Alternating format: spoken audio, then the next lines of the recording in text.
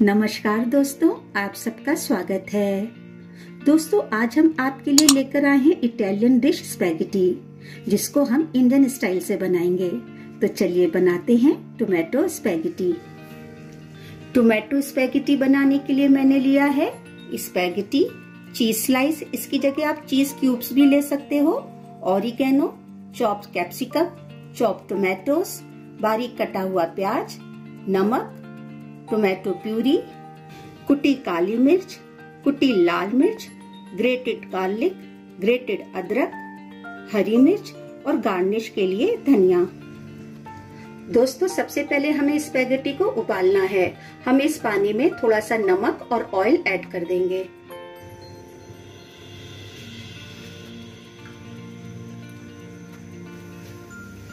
अब इसमें हम स्पैगेटी डालेंगे।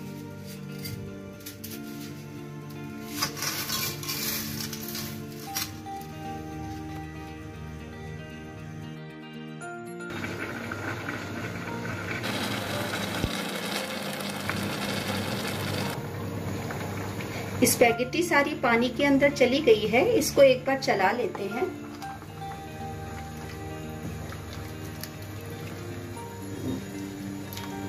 दोस्तों, इसको 8 से 10 मिनट तक लगता है बॉईल होने में।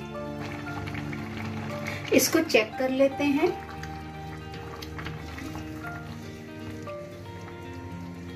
हाँ ये पक चुकी है। गैस बंद कर देते हैं। अब इसको हम छान लेंगे।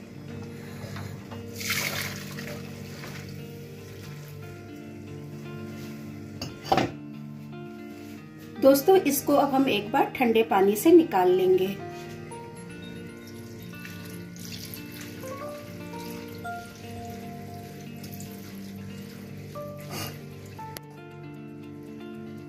एक गिलास पानी और डालेंगे। आप इसमें सादा पानी भी डाल सकते हैं। ज़रूरी नहीं है कि आप ठंडा ही पानी यूज़ करें।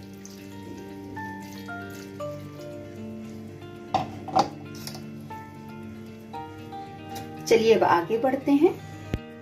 कढ़ाई में रिफाइंड डालकर मैंने डाला लहसुन, अदरक।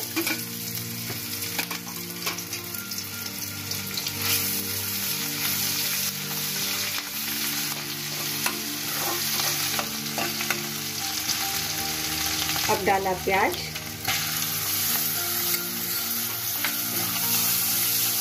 इसको हल्का सा ट्रांसपेरेंट हो जाने दीजिए।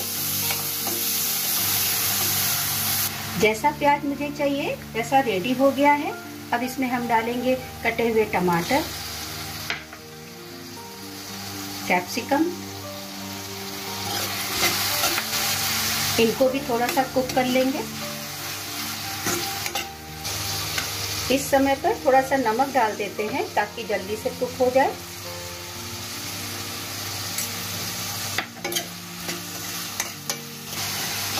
इसको ढक के दो तीन मिनट तक के लिए कुक कर लेते हैं। चलिए चेक कर लेते हैं। ये कुक हो चुका है। इसमें हम ऐड करेंगे टोमेटो प्यूरी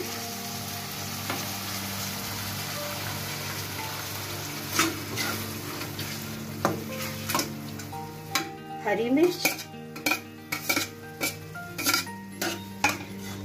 कुटी लाल मिर्च। मिर्च आप अपने स्वाद अनुसार डालिएगा। कुटी हुई काली मिर्च। दो मिनट के लिए और इसको कुक कर लेते हैं। दोस्तों, दो मिनट के बाद इसमें अब हम ऐड करेंगे ऑरिगेनो पाउडर और स्वाद अनुसार नमक। नमक आपने पहले भी डाला हुआ है, ध्यान रखिएगा।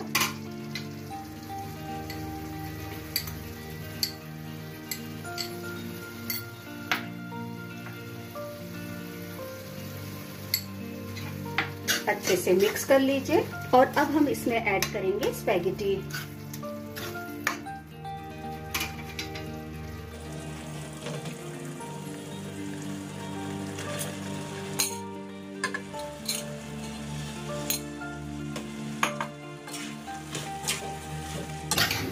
एक और चम्मच ले लेते हैं, उससे मिक्स करेंगे।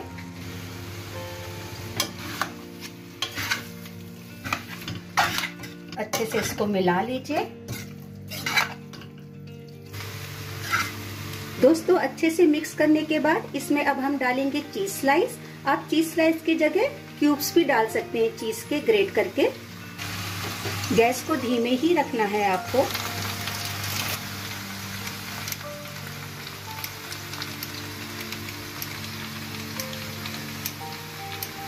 एक चीज़ स्लाइस और डाल देती हूँ।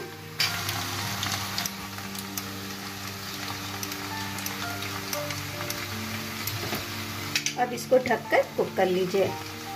चीज़ को मेल्ट हो जाने दीजिए। दोस्तों, बहुत से लोग टोमेटो सॉस भी डालते हैं। यदि आपको थोड़ा सा इसको मीठा खाना पसंद हो तो टोमेटो सॉस ऐड कर लीजिए।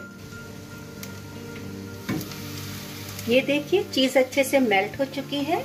अभी हमारी स्पैगेटी सर्व होने के लिए रेडी है। सर्व करने से पहले इसको हरी धनिया से गार्निश करें।